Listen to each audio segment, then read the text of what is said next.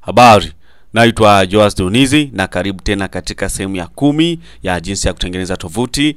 Na katika hii sehemu ya kumi tutakwenda kurekebisha sehemu ya mawasiliano, yani kwenye kurasa yetu ya mawasiliano, ambayo tutakwenda kutengeneza sehemu ambayo itakuwa ina mawasiliano ya tovuti yetu, lakini pia kutakuwa kuna sehemu ya fomu ambayo mtumiaji anaweza akaijaza. Karibu sana, lakini pia usisahau kusubscribe, kushare, kulike na kucomment. Kwa mawasiliano zaidi unaweza ukachukua nambari zangu za simu hapo, ama ukawasiliana kwa mimi kwa njia ya, is, ya simu ya email ama simu. Asante. Aa, kwa kuanza tutakwenda kwenye text editor yetu ambayo tunatumia ni Sublime Text Editor. Uh, Sublime Text Editor tutakwenda kwenye Sublime Text Editor na tutakwenda katika ukurasa wetu wa mawasiliano ambao ni huwa hapa tayari. Hii ni, ni page yetu ile ya mawasiliano, na tunakwenda sasa. Ukija hapa kwenye browser katika kurasa yetu ya mawasiliano inaonekana kabisa tuna picha. Kwa hiyo tunakwenda kuitoa hii picha ambayo hii picha ningependa ikae tu kwenye peji ya nyumbani. Kwa hiyo kwenye mawasiliano hatuna haja ya picha, hiyo tunakwenda kuitoa hii picha. Tutakwenda sehemu ya mawasiliano, tutaangalia ile sehemu ya picha ambayo ni hii hapa, hii low. Kwa hiyo tunaweza tukaifuta, alafu tuka save, tukahifadhi kazi yetu. Tukirudi kwenye browser tuka refresh, sasa hivi hatutaona tena ile picha, haipo kwa sababu tume tumekwisha iondoa. Kwa sasa hapa nitakachokifanya sasa hivi nitakwenda kutengeneza column mbili, ambapo column ya ya kwanza itakuwa ina zile simu mahali ilipo, yani hizo ofisi za tovuti lakini pia sehemu ya pili ya column nitakwenda kutengeneza form, ambapo kwenye fomu hiyo mtu anaweza akajaza taarifa alafu akatuma. Sawa. Haya, kwa sasa tukienda kwenye text editor yetu hapa, naenda kutengeza na row. Hii row itakuwa ni katikati ya menu menu zangu ya nyumbani kuhusu mawasiliano na ile futa ile sehemu ya chini ambayo ina sehemu ya copyright. Kwa hiyo row ile itakuwa ipo katikati hapo. Nitaenda kusema tr natengeza row row ya table, na ukumbuke na, na hapa nachokifanya ninatumia ni basic HTML eh, basic HTML iweze kunyelewa. Kwenye video ambazo zitafuata tutaanza kujifunza sasa kutumia Bootstrap, ambao Bootstrap itafanya website yetu iwe na, una, ina usikivu kwenye vifaa vyote. Haya, kwa hiyo hapa naenda kwenda kufanya td, ambapo hapo kwenye td nimesema natengeneza column mbili.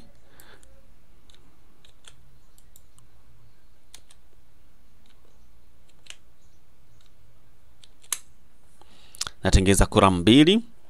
aa, ambapo hapo kwenye kura mbili sasa, hizi kura zangu mbili nitasema nita ukumbuke hapa tuna kura mbili lakini ukija kwenye browser hapa tunatakiwa tu tuna kura nne, moja, mbili, tatu, nne. Kwa hiyo kama natengeneza kura mbili, inamaanisha naweza nikasema kolamu ya kwanza ikachukua ikachukua kolamu mbili na kolamu ya pili ikachukua na yenyewe kolamu mbili, hizi zikamilike kolamu nne, ndio itaweza kulingana. Kwa hiyo hapa naenda kutumia call span, call span ambayo unasema ina merge column, inaunganisha column, call span to haya ambapo hapa sasa nita kwenye kwenye kwenye kolamu yangu ya kwanza nisema iwe ni kolamu ya mawasiliano ambayo nitatumia header ambayo nitatumia header 3 na nitaandika hapo mawasiliano kwa msaada zaidi, au niandike kwa msaada kwa msaada zaidi Alafu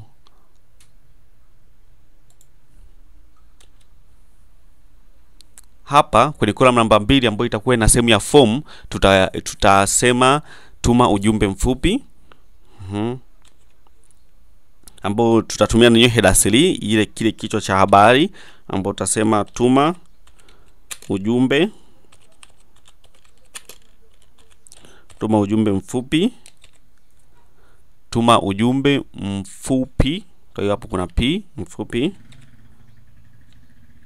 nita save, nitakwenda kwenye browser, nita refresh kuona nini kimetokea, na unaweza ukaona sasa hivi nini ambacho kimetokea.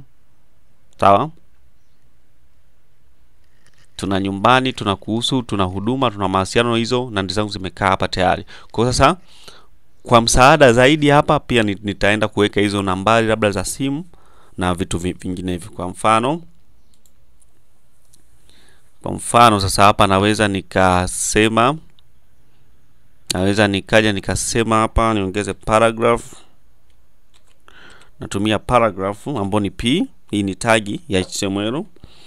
Mm, nitasema nitasema labda mahari,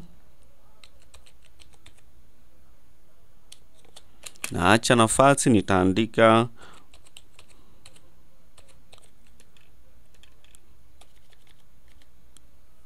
taandika Buzuruga Mwanza, taandika Buzuruga Mwanza. Nitaongeza na paragraph nyingine ambao paragraph nyingine nitasema namba namba ya simu.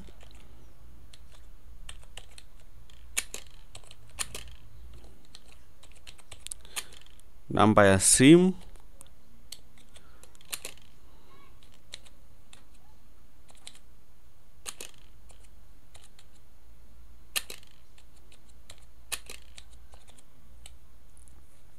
tayari namba ya simu hapo, lakini pia naweza nikaandika email. Sasa naweza nikaandika sehemu ya email na penyewe natengeza paragraph nyingine, naandika email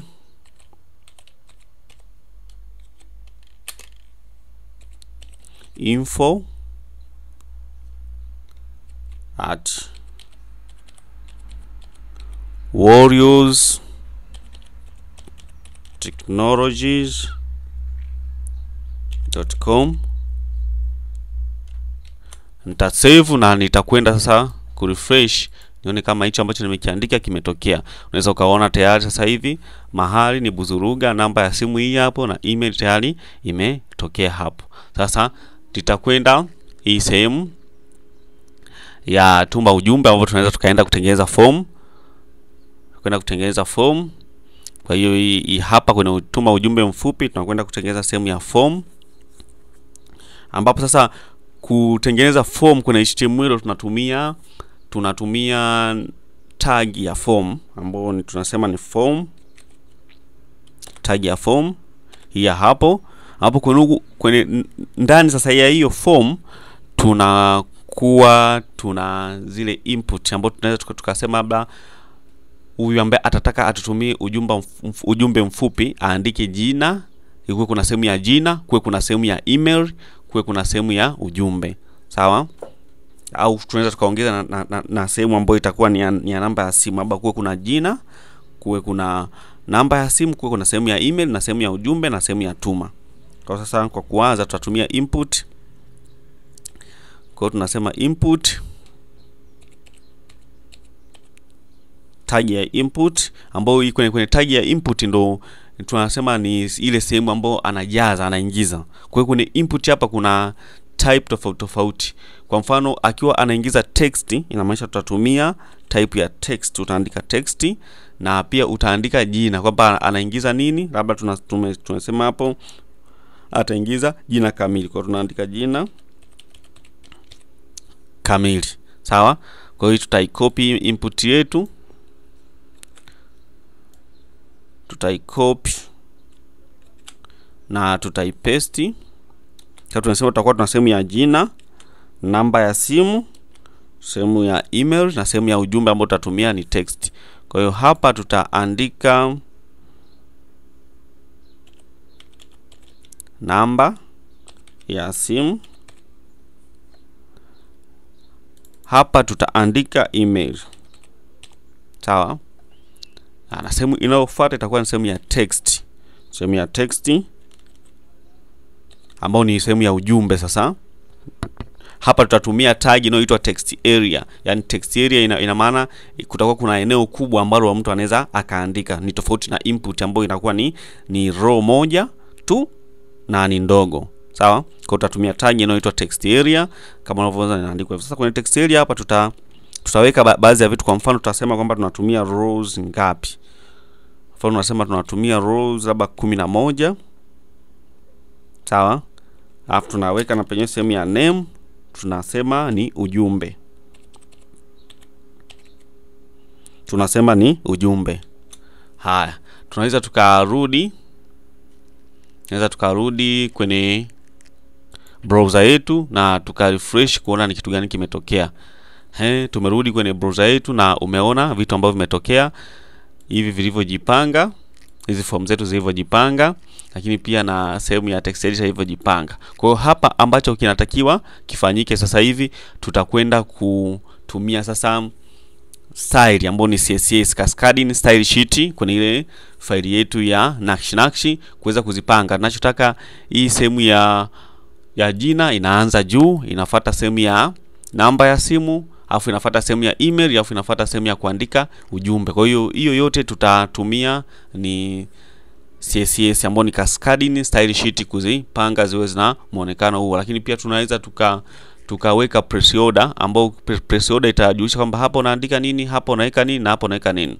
Kwa mfano tukienda kuweka hizo press order sasa hivi, tuweke hizo press order,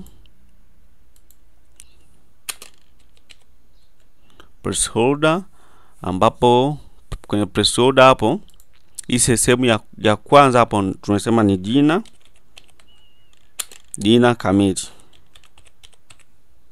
alafu hapa tumesema ni nambari ya simu.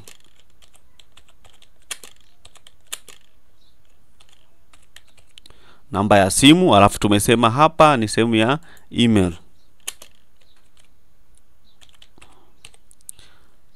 Hapa tunasema ni sehemu ya ujumbe mfupi. Ujumbe mfupi. Tuna save. Baada ya kusave tutakuja hapa na tuta refresh. Unaweza ukaona sasa, unaweza ukaona kwamba hapa tuna sehemu ya jina kamili, tuna sehemu ya nambari ya simu, lakini pia tuna sehemu ya email zimetokea. Kwa hiyo humu anaweza mtu akaanza kuongeza. Sasa ninachokitaka sasa hivi kwenda kukifanya na maisha tunaenda kufanya kwenye CSS sasa, kutumia nakshi nakshi, kuweka hii jina kamili ikae juu, nambari ya simu pia ifate kwa chini yake, ije email, afu ndio ifuatie ujumbe mfupi. Asante sana kwa kunisikiliza na endelea kufuatia video namba kumi na moja ambapo tutakwenda kutumia CSS kupanga fomu yetu. Asante sana.